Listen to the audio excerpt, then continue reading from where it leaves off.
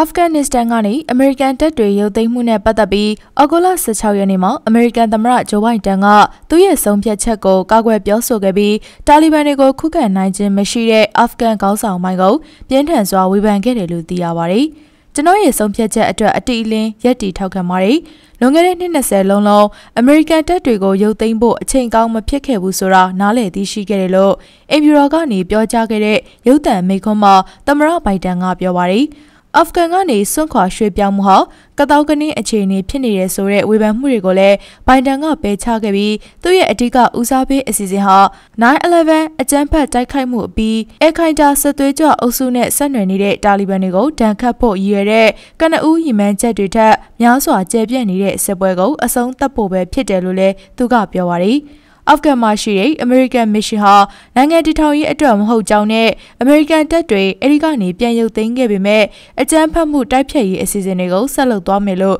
သမ္မတဘိုင်ဒန်ကကြေညာပြုခဲ့ပါတယ်။ ဒါပြင်ထောင်ထဲချီတဲ့အမေရိကန်နိုင်ငံသားတွေအမေရိကန်တပ်တွေနဲ့အတူအလုပ်လုပ်ခဲ့တဲ့အာဖဂန်နိုင်ငံသားတွေကိုလာမယ့်ရက်ပိုင်းတွင်ခေါ်ထုတ်သွားမှာဖြစ်ပြီးအဲ့ဒီတော့တွင်တာလီဘန်တွေဘက်ကတိုက်ခိုက်လာပါကစစ်ရေးအရာပြင်းထန်စွာတုံ့ပြန်သွားမယ်လို့ဘိုင်ဒန်ကချိန်ချောက်ပြောဆိုခဲ့ပါတယ်။သမ္မတဘိုင်ဒန်ဟာလွန်ခဲ့တဲ့နှစ်20အတွင်းအမေရိကန်အစိုးရကတင်မြှောက်ခဲ့ပြီးအထောက်ပံ့ပေးခဲ့တဲ့အာဖဂန်အစိုးရနဲ့အာဖဂန်တပ်မှုတွေကိုလည်းပြင်းထန်စွာဝေဖန်ခဲ့ပါတယ်။အမေရိကန်ကထောက်ပံ့ထားတဲ့အာဖဂန်စစ်တပ်ဟာ လက်နက်ခဲယမ်းပိုင်းမှာအသာစီးရနေပေမဲ့ထိုးစစ်ဆင်လာတဲ့တာလီဘန်တိုက်ခိုက်ရေးသမားတွေကိုခုခံတိုက်ခိုက်ခြင်းမရှိဘဲထပ်ပြေးသွားခဲ့တာဖြစ်ပါတယ်။ သူတို့ရဲ့ကိုပိုင်နာဂတ်ကိုဆုံးဖြတ်ဖို့အလုံးစုံအခွင့်အရေးပေးပြီးပါပြီ။သူတို့အနာဂတ်အတွက်တိုက်ပွဲဝင်လို့စိတ်ရှိလာအောင်ကျွန်တော်တို့ဘက်ကလုပ်ပေးလို့မရပါဘူးလို့လည်းဘိုင်ဒန်ကပြောပါတယ်။ဒါပေမဲ့လည်းတာလီဘန်တွေကအာဖဂန်ကိုထိန်းချုပ်နိုင်မှုဟာအင်အားသင့်စရာကောင်းလောက်အောင်မြန်ဆန်ခဲ့တယ်လို့ဘိုင်ဒန်ကဝန်ခံခဲ့ပြီးထင်ထားတာထက်ပိုပြီးမြန်မြန်ဆန်ဆန်ဖြစ်လာခဲ့ကြောင်းပြောကြားခဲ့တယ်လို့လည်းသိရပါတယ်။